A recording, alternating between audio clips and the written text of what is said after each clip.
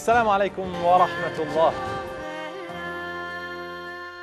في عالم السينما والفن السابع والأفلام وضرورات الالتقاء ما بين المفاهيم المجتمعية وعالم السينما.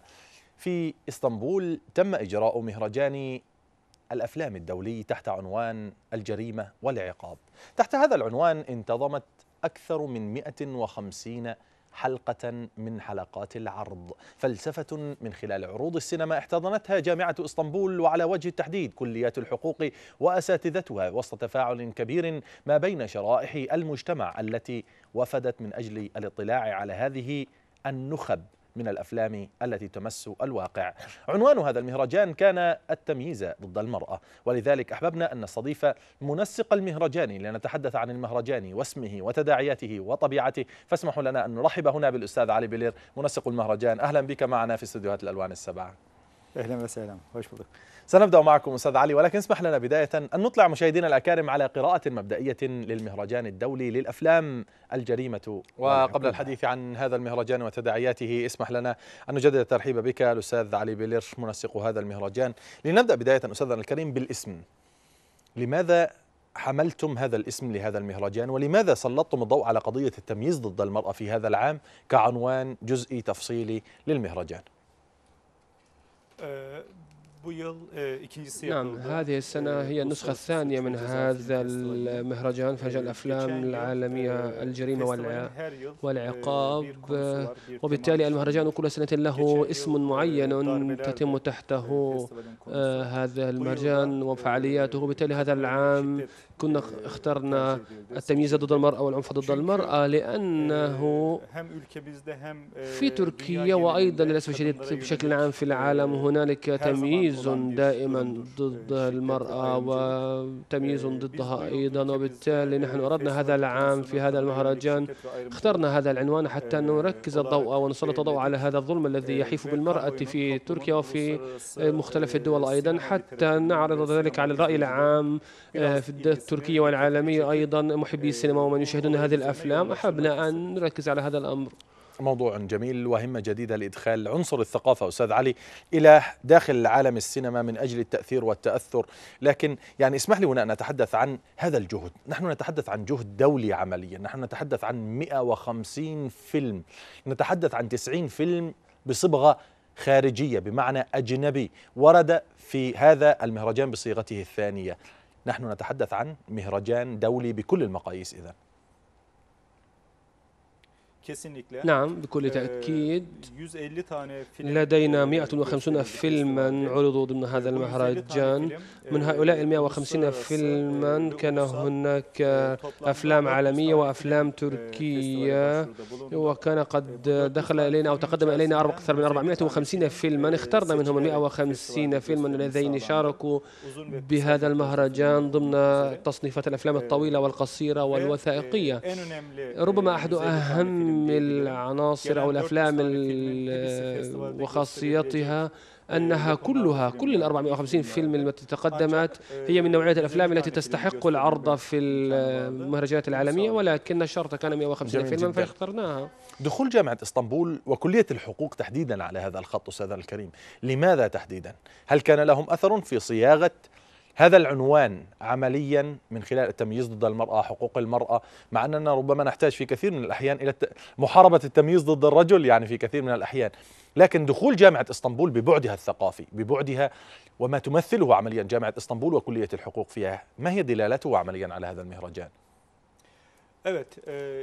نعم في الحقيقة فإن اسطنبول جامعة إسطنبول وتحديدا قسم الحقوق فيها طبعا تعرفون أنها من أهم وأعرق الجامعات هنا في تركيا ربما هي أقدمها وأعرقها وبالتالي عميد كلية الحقوق في ورئيس ورئيس المؤتمر أيضا الأستاذ الدكتور أدم سوزار هو الذي رعى هذا الأمر وساندنا فيه منذ البدايات بالتأكيد أن ننظم المؤتمر أيضا مع بشاك شهير مع بلدية بشاك شهير يعطيها دم بعدا ودعما أكبر بالتأكيد. ما أريد قوله هو لدينا كل هذه الأفلام التركية والعالمية على مستوى المؤتمرات العالمية ولكن اشتراك اشتراك كلية حقوق في مهرجان أفلام تحت عنوان الجريمة والعقاب ليس تصادفا وليس عبثا وليس عشوائيا. هذا أمر مهم جدا ومبادرة مبادرة جميلة على المستوى العالمي. هذا مشروع مهم جدا. وبالتالي هنا نتكلم عن آليات تواصل جيدة جدا التي هي السينما التي توصل الرسائل للجمهور ومن ناحية أخرى هناك الكتب والقوانين وكل ما يهتم به الحقوقيون والجامعة التي تخرج كل هؤلاء الحقوقيين هذا العمل المشترك بين السينما والجامعة أو السينما. والكلية يؤدي إلى إيصال رسالة نظرية وعملية يدمج بين الواقع النظري والواقع العملي للمشكلة وكأننا دمجنا هنا أو تعاوننا أو أحدثنا تعاونا بين الفن والعلم. ولذلك هذا المهرجان هذا العام مهم جدا ويكتسب أهمية أكبر. وبالتالي أي جامعة تشارك في نوع من هذا النوع من المهرجانات العالمية يؤدي إلى إثراء الحالة العلمية العلمية العالمية حول هذا الموضوع. وأيضا يثري معلومات محبي السينما الذين سيجتمعون مع فن وعلم مندمجان مع بعضهم البعض في مهرجان واحد. نعم أستاذ علي بلير يعني بوصفك منسقا لهذا المهرجان. نحن نتحدث عن خبراء ومخرجين وممثلين على مستوى عالمي. أيضا حضروا إلى منصة العرض، نحن نتحدث عن تفاعل كبير جدا أيضا في هذا الإطار ما بين قطاعات العمل في جانب السينما وفي جانب الوثائقيات. هل هذا الاحتكاك أثمر فعليا؟ هل هل أثمر نتائج فعلية وإيجابية على مستوى النتائج المطلوبة من هذا المهرجان؟ بكل تأكيد نعم لأنه اعتبارا من اليوم الذي انتهى فيه هذا المهرجان كل هؤلاء المساهمين والمشاركين من مستويات عالمية ما زالوا حتى الآن يرسلون لنا رسائل الشكر والأمنيات الطيبة وبالتالي هذه التغذية الراجعة لنا تؤكد لنا أهمية هذا المهرجان الدولي العالمي الذي أقيم إضافة إلى ذلك ربما لدينا حوالي رجال علم ومختصين وأكاديميين من حوالي 30 دولة قدموا أوراقا آه، لدولهم وشاركوا هنا في هذا المهرجان. وبعد بالتالي الآن لدينا حوالي مئة ألف صفحة من كتاب التبليغات والأوراق المقدمة والمناقشة في ضمن هذا المهرجان هذا يثري أيضا الموروث الثقافي والأكاديمي والقانوني للمحاولات العالمية للتمييز للحرب على التمييز ضد المرأة والعنف ضدها.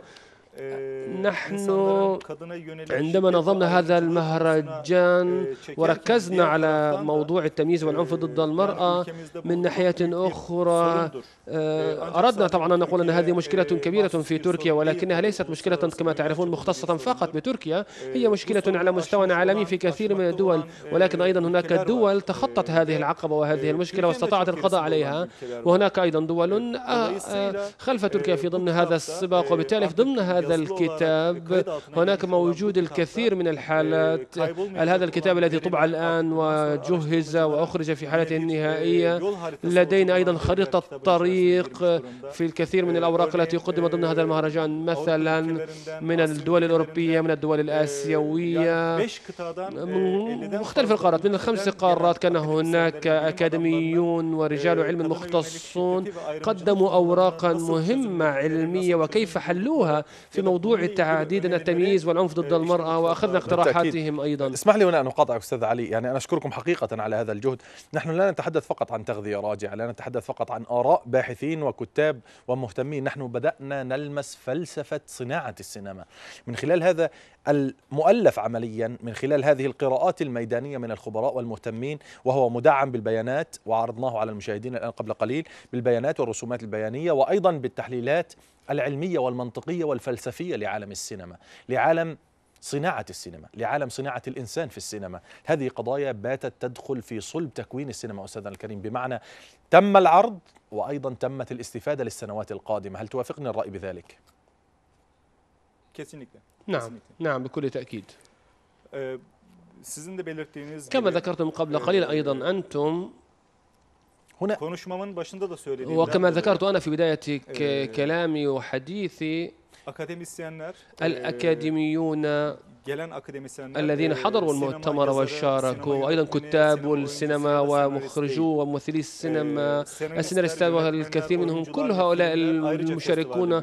أيضا كان لهم أفلام عرضت ضمن هذا الفيلم ولكن من ناحية أخرى عندما نتكلم عن عنوان تمييز والعنف ضد المرأة من ناحية أخرى كنا نتكلم أيضا عن العقوبة والجريمة معا ضمن هذه التعليقات والأوراق والمقروءة والمناقشة. وبالتالي كل أكاديمي وكل رجل علم مختص شرح ملخصا عن بلده وعن تجربة بلده في هذا الأمر. وبالتالي هذا الملخص دخل ضمن هذا الكتاب الذي فيه ملخصات لحوالي خمسين دولة وتجربتها في هذا الأمر.